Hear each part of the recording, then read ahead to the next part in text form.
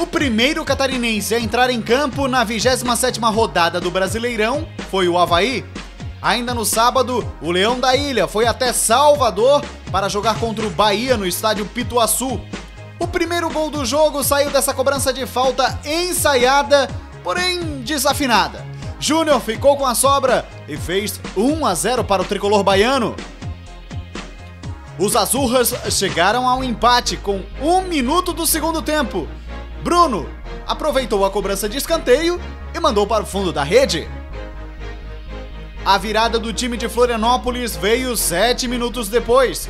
Pedro Quem recebeu bom passe na área, contou com a ajuda do zagueiro e fez 2 a 1 para o Havaí. Mas o carrasco do goleiro havaiano Felipe tinha nome e se chamava Júnior. Outra vez, ele aproveitou o rebote e empatou o jogo.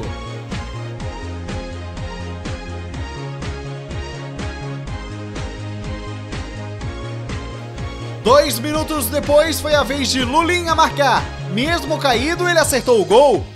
Fim de jogo. Bahia 14 colocado, 3. Havaí, na vice-lanterna e cada vez mais próximo da Série B, 2.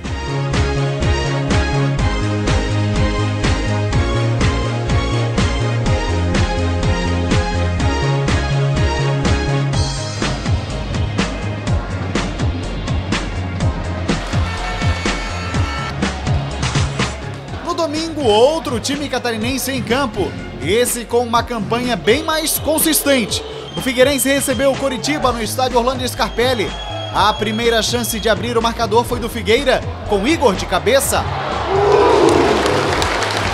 Mas a melhor chance da primeira etapa foi do Coxa. Nesse lançamento de Léo Gago, Jeco invadiu a área, tocou na saída do goleiro, só que foi para fora. O Furacão do Estreito respondeu com duas boas tentativas do atacante Júlio César, o jogador com a maior média de bolas chutadas por jogo no Brasileirão. A segunda foi de bola parada, que terminou com uma boa defesa de Vanderlei. O segundo tempo foi parecido com o primeiro, poucas chances e nenhuma eficiência. Resultado: 0 a 0 e os dois times se mantêm na posição intermediária da tabela. A equipe do Figueirense soube marcar bem nós atacantes, nossos meias, né, eles bem postados, né, marcando forte ali. E aí nós o atacante encontrou muita dificuldade. Com o empate em 0 a 0 contra o Coritiba, o Figueirense agora ficará obrigatoriamente 70 dias sem vencer diante do seu torcedor nesse Brasileirão. Isso porque agora o time terá duas partidas fora de casa, só voltará a jogar aqui no dia 15 de outubro contra o América Mineiro.